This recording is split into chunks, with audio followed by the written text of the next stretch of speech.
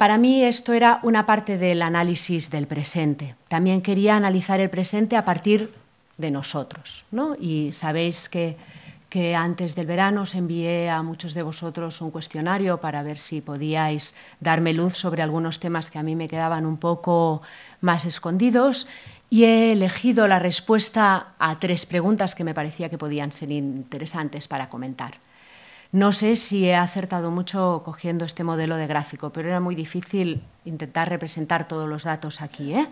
La pregunta era qué servicios se ofrecen y qué uso se hace de estos servicios. ¿eh? Y por tanto, a, a, vuestra derecha tenéis los bibliobuses que no se ofrecen, hay los, perdón, los servicios que no se ofrecen, que se utilizan poco al inicio y que se utilizan mucho al final.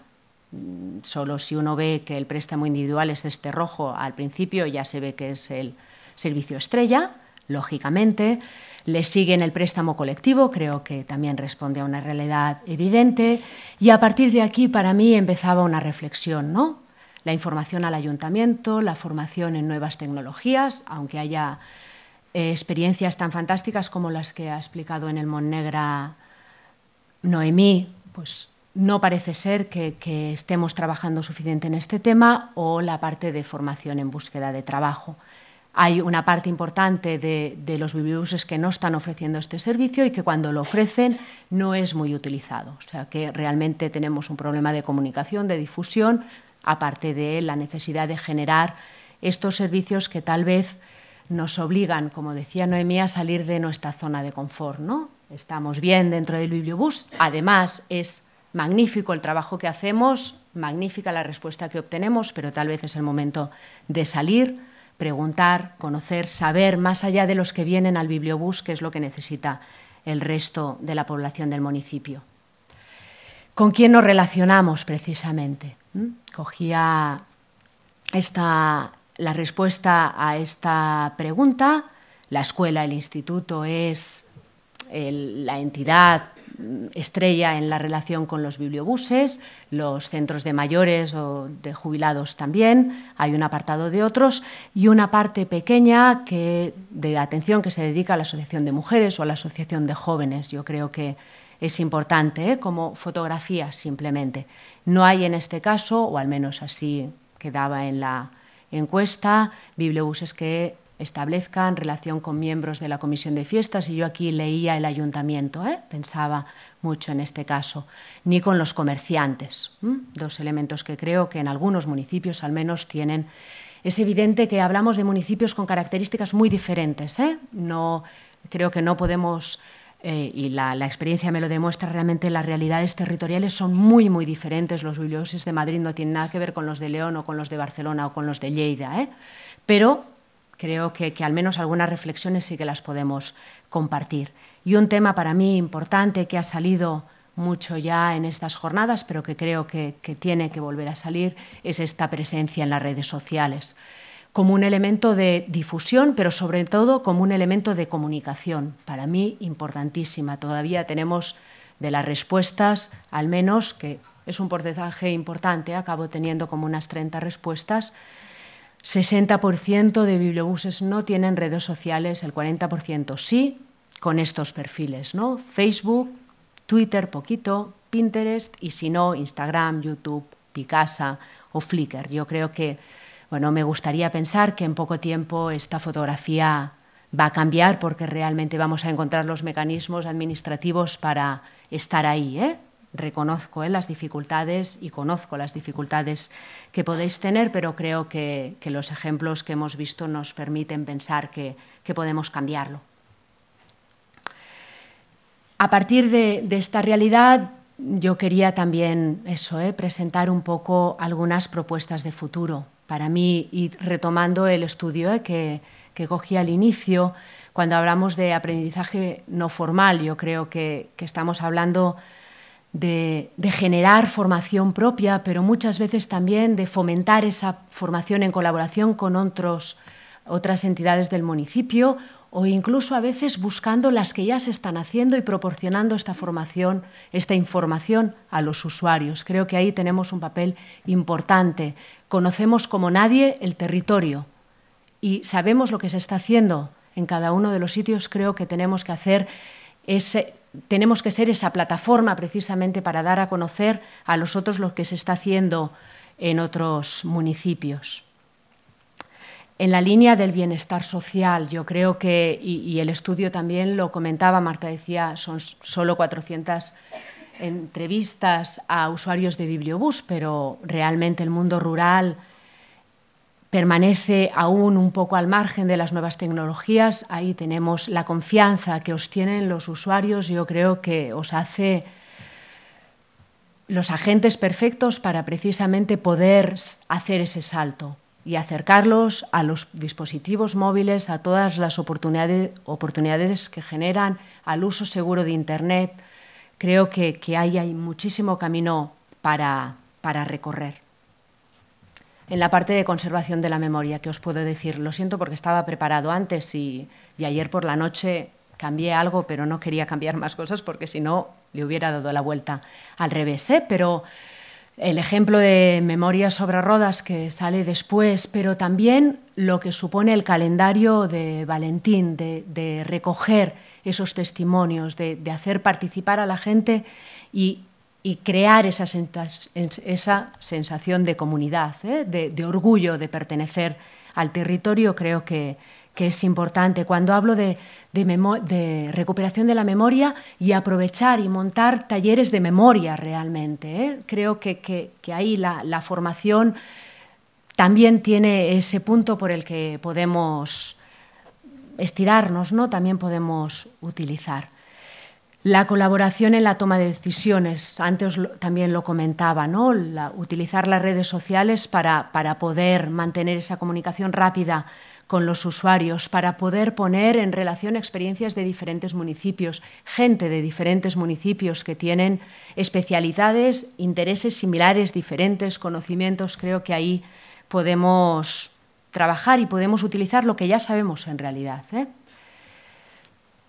En definitiva, desde mi punto de vista, deberíamos apostar, creo que lo hacemos, ¿eh? pero debemos apostar realmente por más comunicación, más formación, más colaboración y eso seguro que nos va a volver con más recursos, más aliados y más visibilidad. En definitiva, vamos a aprovechar lo que, lo que ya tenemos, ¿no? intentando, pues eso, salir un poco más.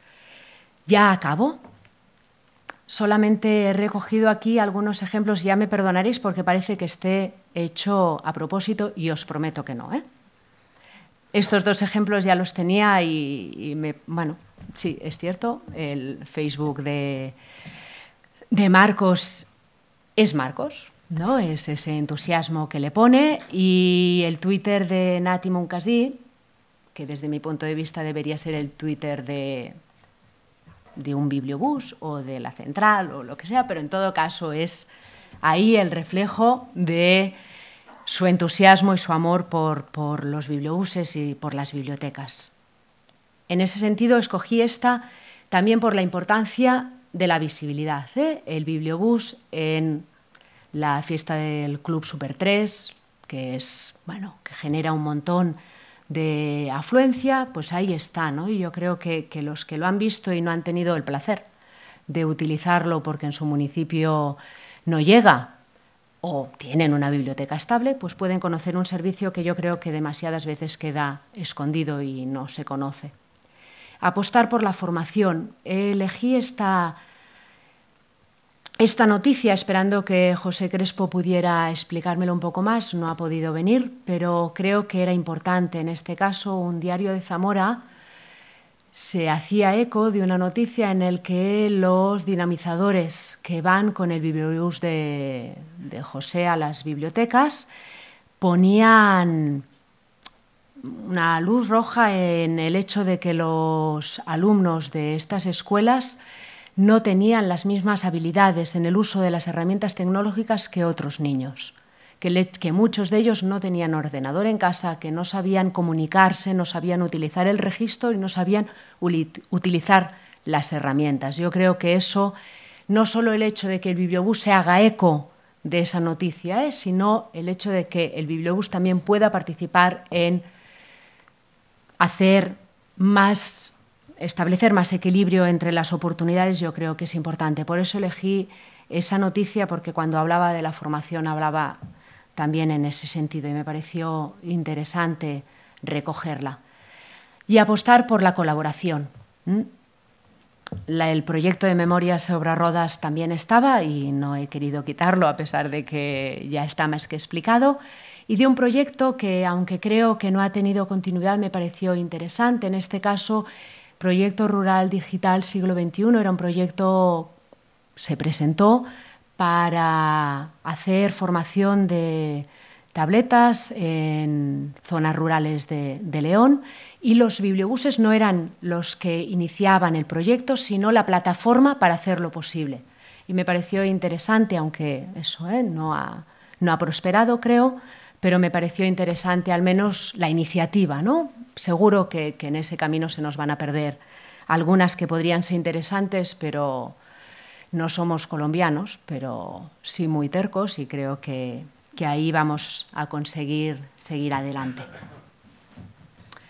Nada más, yo me quedo con, este mensaje ¿eh? de, de, este bibliobús, háganos saber lo que necesita y cuándo lo necesitará y nosotros haremos el resto. No tengo nada que deciros porque es lo que hacéis cada día, solamente quiero daros las gracias y espero que en todo caso os inspire y os permita seguir trabajando. Muchísimas gracias y muchísimas felicidades sobre todo. Eh, eh, mi intervención va dirigida al último proyecto del que ha hablado Maite. Es que ayer Maite me dijo, oye, ¿cómo va esto de lo digital y tal? Y yo le dije, no sé ni de qué me estás hablando. Imagínate, pero no, no, no me resultó sacarlo. Y sí, no, ahí está. No, pero está muy bien porque ahora ya sé de qué va. Vale. ¿Eh? Sí, es un anhelo que tenemos, o que, mm, bueno, realmente es una iniciativa privada. Hay eh, una asociación en León que se llama Montaña Central, que está en Internet, está en Facebook, y eh, su promotor, Aurelio, un día se presentó en mi despacho y dijo, oye, habría que eh, formar digitalmente a la tercera edad. Eh, digo, ah, muy bien, dice, pero con tabletas y tal. Y entonces me comentó el asunto, vamos, a mí me cautivó y yo ahora soy un defensor de este, de este tal. Entonces, eh, lo, que, lo único que pedía este señor era que amparo institucional para, de nuestros, digamos a la Diputación en este caso, para conseguir de forma gratuita tabletas de casas e instituciones. El resultado de sus gestiones, que fueron muchas, fue cero. ¿eh? porque la sensibilidad sobre este tema es cero. ¿eh? Yo creo que eh, poco inteligentemente. Pero, y entonces ahí lo dejó el señor. Pero yo no. ahora mismo, de forma informal, estamos en conversaciones con, con, el diputado a ver cómo se puede hacer esto. Y de momento parece que ha entrado bien. El problema es cuando hablemos de dinero. Pero bueno, y eh, se haga como se haga, los bibliobuses tienen que ser la plataforma, por lo menos, porque eh, es lo, que, lo de siempre. Como bibliotecarios y como bibliotecas públicas no podemos dejar perder pasar este tren. Más que somos los primeros interesados porque si nosotros, lo que hemos visto hoy, estamos ofertando y vamos a ofertar más servicios digitales, nos interesa que la gente eh, sepa usarlos y sepa valorarlos, y no para qué los hacemos. Nada más, era este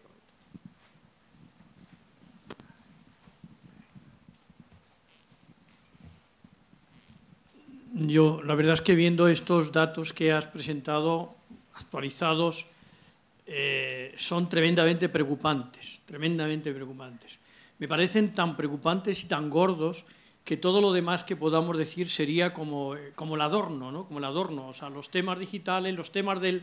O sea, yo, mientras haya un ciudadano, un único ciudadano, un único pueblo que no tenga derecho a acceder a los servicios de lectura, eh, me parece gravísimo, porque en otros servicios públicos no ocurre. Yo pido, no lo sé, imagino, le preguntaba a Roberto que si están previstas conclusiones, yo pido formalmente que haya una de las conclusiones de este Congreso es pedir públicamente a las distintas administraciones públicas con datos que, o sea, esto se acabe. O sea, que tiene que haber mecanismos, tiene que haber mecanismos para que no haya eh, provincias en las que un 15% de los ciudadanos no tienen ningún servicio de lectura, que bibliobuses que se paran y no pasa nada, etc. No me centro en otros temas, pero desde luego en bibliobuses yo creo, y perdón Roberto, sí, esto, yo creo que formalmente, además, no sé, se pueden hacer muchísimas conclusiones, muchas, pero una y con datos sería decir a la opinión pública datos de cuántos municipios por comunidades autónomas no tienen ningún tipo de servicio y que hay que instar primero a todas las administraciones y específicamente ante unas elecciones generales para que haya mecanismos que corrijan esto en un tiempo determinado. O sea, es que no podemos estar década tras década, siglo tras siglo con el mismo problema. Entonces, todo lo demás, yo veo experiencias maravillosas, pero es que todo eso lo podemos hacer y debemos hacerlo, tenemos que comunicar y tenemos que hacer, pero yo creo que hay que poner el dedo en la llaga y yo me parece, eh, pido eh, formalmente que en las, que en las conclusiones eh, haya una muy nítida, muy clara, con datos, que, haga esta exigencia y que eh, no se den luego las diez conclusiones conjuntas, sino que esa conclusión en concreto se resalte, porque me parece que es vergonzoso y, desde luego, las administraciones públicas y quienes tienen responsabilidades en las administraciones públicas están incurriendo en un grave, eh, están perjudicando a la sociedad tremendamente. Los datos que ha mostrado Maite, que, que, bueno, pues yo creo que han sido muy claros, yo le agradezco el esfuerzo, de claridad, porque es verdad que estos datos están en todas las estadísticas y tal, pero lo ha hecho muy bien, lo ha hecho muy nítido, datos muy actualizados, yo le felicito y desde luego creo que de este Congreso lo más importante que podemos hacer es clamar por ese derecho, por esos pueblos que no tienen. Yo lo pido formalmente. Hola. Hay que dar ahora. Hola, eh, bueno, en primero agradecerte la, mención a, nuestro trabajo en redes sociales y, a la visita que, tan amablemente hiciste, porque para nosotros fue una sorpresa. Y precisamente por ahí va, no tanto la pregunta, sino también parece que va la cosa más de afirmaciones, aunque te quiero hacer una pregunta. Eh, primero contarte que cuando te fuiste de, Málaga, mi compañero Miguel me decía, mm, pero, no, no, perdón, antes de que vinieras me decía mi compañero Miguel, pero ¿hay gente que, desde la universidad trabaja en estas cosas? Y entonces me, provocó a mí también una cierta ansiedad, porque pensé, es que yo también me planteo lo mismo. O sea, desde la universidad, eh, y no desde un punto de vista de homenaje, que sí que se hace. ¿eh? Cualquier institución administración pública o privada nos tiene en alta estima para homenajearnos.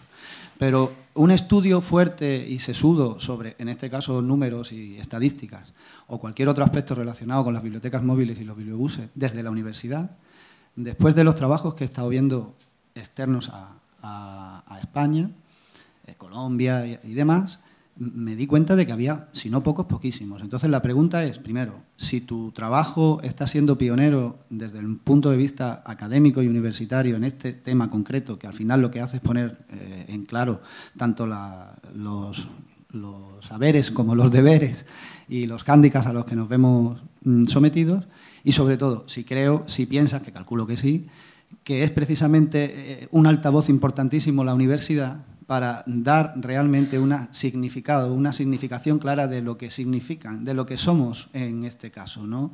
Eh, olvidar esa pátina de anécdota eh, semirural y, bonita y, de leyenda y, centrarnos en el papel que esta mañana resaltaba eh, Roberto de social, cultural, incluso hasta en algunos casos humanitario, como tenemos casos de bibliobuses o bibliotecas móviles que dejan de trabajar para acudir a un, a un desastre natural eh, en Chile por un terremoto. Entonces me gustaría saber eso. Mm, ¿Qué papel debería y debe y juega ahora la universidad a la hora de difundir precisamente esa, esa pequeña indignación o gran indignación y sobre todo esos datos claros de ausencia de servicios básicos que están en la Constitución y que jamás hemos logrado encontrar un, porcentaje total eh, de cobertura. Y gracias. Gracias a ti. Eh, la primera pregunta es, ¿es un trabajo pionero? No hay otro estudio de bibliobuses de León, tal vez más centrado en bibliobuses de León, y yo intento hacer algo más extenso cuando pueda, cuando acabe, no sé, espero poderos realmente decir dentro de dos años ya está. Y sobre qué papel juega la universidad, es cierto que no es un tema que, aparezca muchas veces. Creo que sí que está presente, yo creo que, sí que, en la medida que es posible desde la universidad, pero también desde el ámbito profesional, es un, una reclamación que hacemos, ¿eh? el, hecho de que no estén desarrollados esos servicios y lo que significa, ¿no?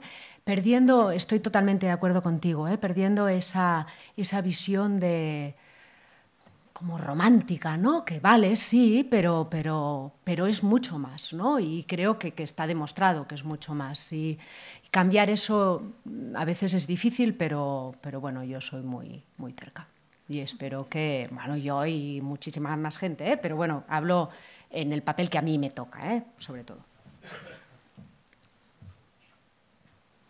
Hola. Bueno, gracias Maite. La exposición era muy clara y muy... Yo, yo quería añadir un poco a lo que decía Juan y a... Mí me... Bueno, yo tengo que tratar con políticos, ¿no? Muy, muy próximo. Y ayer conocisteis a Martí Pujol, ¿no? Yo la primera reunión que tuve con él, la primera le hablé de los bibliobuses y le dije, tenemos una flota muy antigua, ¿eh? tenemos que empezar a pensar, estamos haciendo un bibliobús nuevo, tenemos presupuesto para hacer uno segundo, pero nuestros bibliobuses tienen 20 años, el Castellot uh, hará 20 años, te invito al Congreso de Bibliobuses. La siguiente reunión vino y me dijo, esto de hacer bibliobuses es muy caro, tengo una idea. Yo pensé, socorro, ¿vale? Bueno, os podéis imaginar qué idea era. Me costó muy poco convencerle de que no era una buena idea, eso es cierto. Lo digo porque no solo es hablar de que toda la gente tiene que tener acceso a la cultura, sino que hay que hablar de los bibliobuses desde la perspectiva de que es el servicio mejor y más sostenible. Porque la idea de un pequeño chiringuito en cualquier pueblo que le llamamos biblioteca, esto es lo primero que les viene. Y además es mucho mejor, porque claro, está siempre allí, siempre está el espacio. Y los niños cuando salen al cole tienen dónde ir. Y yo digo, sí, sí, dónde ir, sí, pero cuando lleguen allí, ¿qué habrá? ¿No? Es decir, que, yo creo que, y desde Aclevim o, desde las distintas comunidades autónomas, no sé, que tenemos, yo creo que, que, el modelo de, o sea, no solo hay que defender el bibliobús como servicio, sino como el mejor servicio para municipios pequeños, como el único posible y sostenible, y más en estos momentos, ¿no? no yo, yo sé que nosotros yo trabajo en la provincia de Barcelona, donde los municipios pequeños, mm, bueno, ahora son poco rurales comparados con otros, ¿eh? o, son más grandes. Pero yo creo que de verdad es esto de decir que es el más sostenible y el mejor posible y hay que escribir más. ¿no? Ahora tú hablabas del papel de la universidad, ¿no? de la universidad y, nuestro, y mm. hacer planes de bibliobuses y aprender a decir qué crecimiento necesitamos, qué inversión necesitamos. Yo creo que esto es, y yo creo que, no sé si, si aclevimos cómo lo tenemos que hacer, ¿no? de hacer documentos y, que, se puedan poner de referencia ¿no? En, la reflexión de la defensa del, del, bibliobús. Porque yo oigo, aquí oigo muchas cosas que, que, también valen para bibliotecas públicas, ¿no? pero hablemos del bibliobús, de lo que solo vale para el bibliobús. Yo creo que tenéis que, bueno, tenemos que poner el valor aquí. ¿no? Y a mí esto sí que es algo que me preocupa porque pienso que en la provincia de Barcelona durante un tiempo se ha hecho un trabajo muy bueno, pero que se tiene que renovar porque, porque este trabajo está hecho hace 20 años. ¿no? Y por eso un poco la preocupación de, que espero que pronto haya un décimo bibliobús en la provincia de Barcelona y tengamos un segundo para renovar si todo va bien. Pero bueno, un segundo para renovar y hay que renovar los nueve ¿no? en algún momento y no nos podemos olvidar.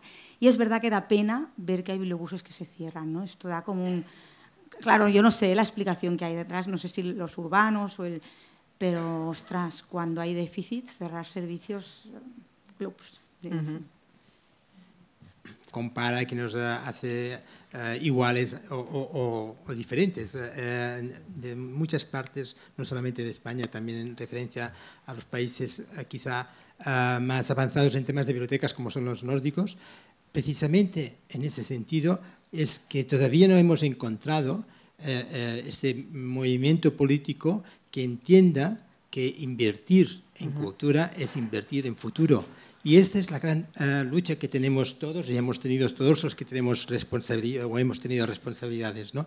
Y en ese sentido, yo me acuerdo muy bien cuando se estaba muriendo el, el de, de Berga, eh, que por viejo, estos que habían, eh, creo, creado en el año 74, eh, de aquel movimiento que contabais de, León, y se estaba muriendo de viejo, la, la, primera posición del político es, bueno, ahora no toca esto, toca hacer bibliotecas, no estáis haciendo bibliotecas nuevas, no es un modelo de bibliotecas nueva.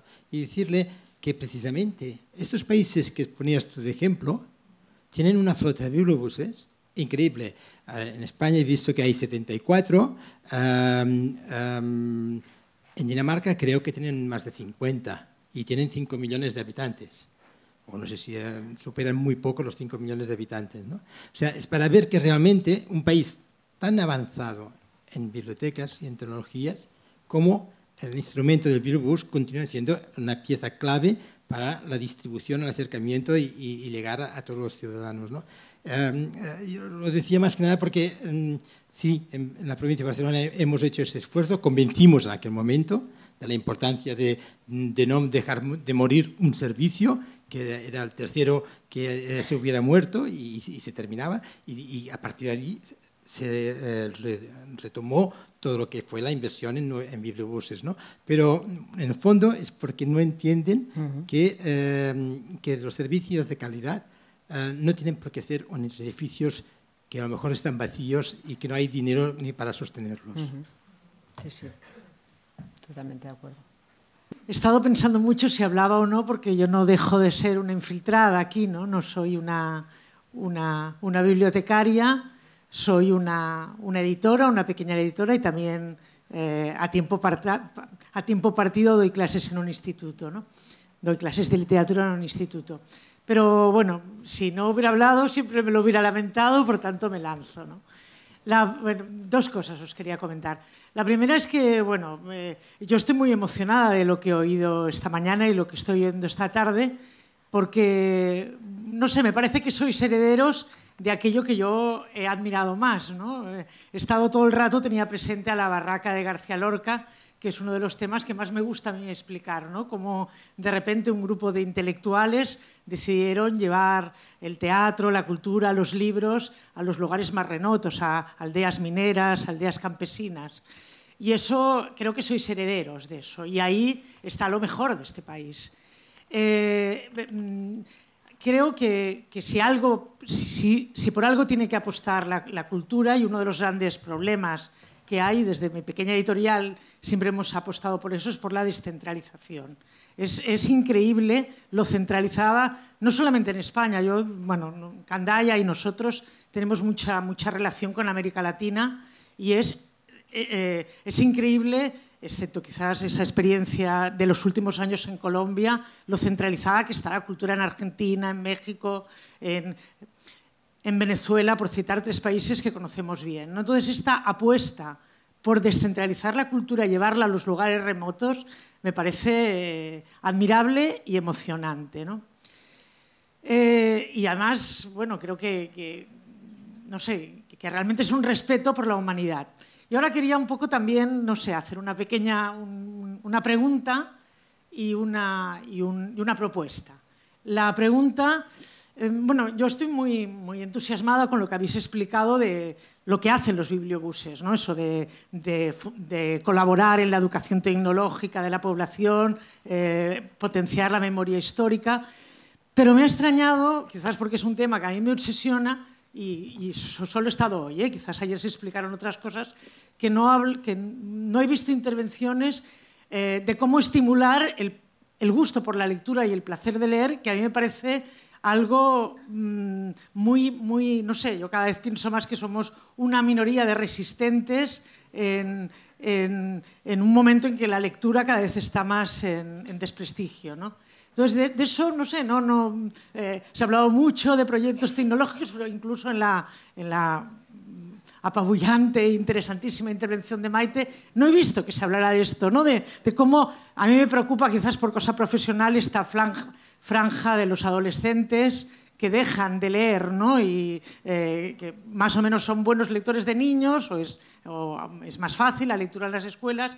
Eh, no sé, no sé si sobre esto también lo trabajáis y cómo lo trabajáis.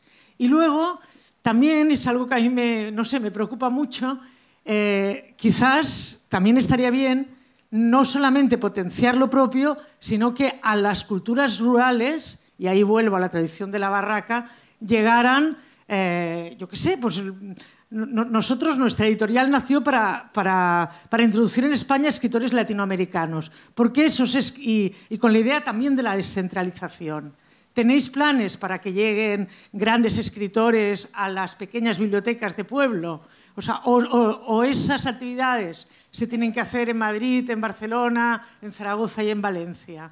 Eh, hay, se está potenciando eso.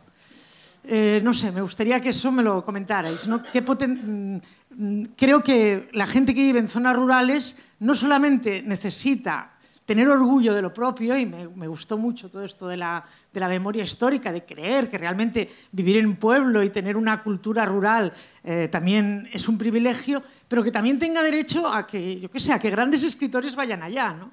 O sea, que no solamente eh, se muevan en los círculos urbanos. A mí, y para eso propongo a nuestros escritores, los latinoamericanos vienen a hacer la promoción y ya está. Pero a los escritores nuestros que viven por aquí, eh, podéis contar con ellos para cualquier tipo de, actividad, de club de lectura, de conferencia, de, ruta, de cualquier cosa, porque esa es el ADN de Candaya, ¿no? que la cultura se tiene que descentralizar y llegar a los lugares más remotos y lo de los bibliobuses es uno de los caminos más alucinantes que conozco.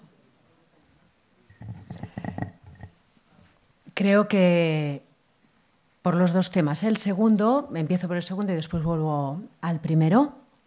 En este caso creo, no, no creo que sea la persona más adecuada ¿eh? para comentarlo, pero creo que, los bibliobuses forman, como el resto de bibliotecas, parte de una red que, que, tiene actividades que intentan ya hacer ese fomento y creo que forman parte como una biblioteca más. Seguramente no de manera generalizada, pero no creo que tengan un, problema añadido a las bibliotecas. En todo caso, es, si, lo consideramos así, una debilidad del sistema, ¿no? pero no de los bibliobuses en concreto, que creo que sí que deben participar de las mismas oportunidades en cuanto a, actividad, a actividades de charlas o de compartir con autores, igual que el resto de bibliotecas.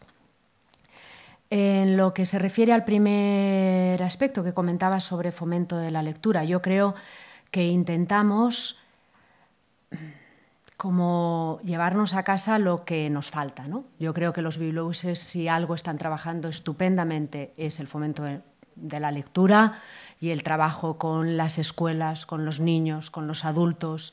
Creo que eso es en lo que es más fuerte el bibliobús en este momento y yo lo que he intentado es abrir las puertas hacia otras posibilidades. Es cierto que los adolescentes se alejan, lo comentaban hoy en el, en el estudio de, de bibliobuses, se refleja así, es una cuestión de necesidades, también se alejan de la biblioteca pública, a veces para acercarse a otro tipo de biblioteca, a veces no. Y no es un problema únicamente nuestro. ¿eh? Realmente en este estudio que os comentaba de Finlandia, este es un elemento que aparece ¿eh? y el intento de acercarse a los jóvenes a través de otros, otras estrategias para poderlos mantener en la biblioteca y en ese sentido mantenerlos como, como usuarios, ¿eh? pero realmente ahí tenemos un tema, creo que no ni mucho menos un problema que tenga el bibliobús, sino otra vez un problema compartido y en este caso no exclusivo ni mucho menos, ¿eh? pero que sí que, existe realmente. De todas formas, no querría para nada que la sensación fuera eh, que, estamos cambiando el rumbo. ¿eh? No, no, para mí es que la parte de fomento lector está, está y creo que, es que está, no, no está, sino que está, ¿no? que cada uno de vosotros lo lleváis y ahí no tengo nada que decir. Buenas tardes. Para contestar a su intervención, eh, por ejemplo, en el caso de, Lleida, que es de lo que puedo hablar, eh, cuando decimos que tenemos 42, ahora 43 bibliotecas, eh, quiere decir que hay 40, 40, que serán estables y dos que son dos rutas de bibliobuses. Pero nosotros hablamos de 42 o 43 o 45 bibliotecas y tal cual. Cuando planificamos desde desde lo que sería el Centro Coordinador de Bibliotecas, que en Cataluña le llamamos la Central de Bibliotecas de Lleida, por ejemplo, cuando se planifican las actividades de promoción de la lectura, que se ofrecen a las bibliotecas distintos programas, distintas actividades, etcétera, etcétera, no hay distinción. Es decir, Si se ofrecen desde el servicio, o sea, hay dos tipos de programaciones, una más general que puede llegar desde el, desde el servicio de bibliotecas, que, bueno, que tiene mil programas diferentes que ahora sería alargarse demasiado, de, eh, ponerse a detallarlos. Mm, cada cual puede cogerlos en función de sus propias programaciones o sus propios objetivos. Eso también inclu incluye a los bibliobuses. Y lo mismo con las programaciones que podríamos hacer desde la misma central. Es decir, los bibliobuses, como cualquier biblioteca, tiene que tener su plan de objetivos anual. Esto incluye su programación de actividades. Esta programación de actividades tiene que encajar con las líneas de actuación que se le proponen desde los servicios de bibliotecas, que puede coordinarse con las líneas más, más generales que se le proponen. Es decir, que los bibliobuses tienen un trabajo de prescripción lectora esencial, pero mm, que tienen las posibilidades de, dentro de sus características, de poder hacer, en principio, lo mismo que se les propone. A partir de aquí, pues formará parte de sus propios objetivos eh, acceder a las propuestas que, les lleguen. Mm, por ejemplo, esta mañana hemos hablado de que eh, puede participar de clubes de lectura virtuales o presenciales o mil actividades que ahora podríamos entrar a detallar. Pero por este aspecto, o sea, es para decirle que, no, que cuando se planifica desde un centro mm, no hay distinción. Simplemente eso. Si no hay más intervenciones para el coloquio, vamos a seguir a la siguiente actividad. Vamos ahora a hacer las visitas que teníamos previstas y a las 7 en punto volveremos aquí para hacer la entrega de premios a Clevim. ¿De acuerdo? Eh, habrá un grupo que irá hacia los bibliobuses, que les acompañará Esperanza, aquí está, y el grupo que va a visitar la biblioteca, que venga conmigo, que nos encontraremos en la puerta.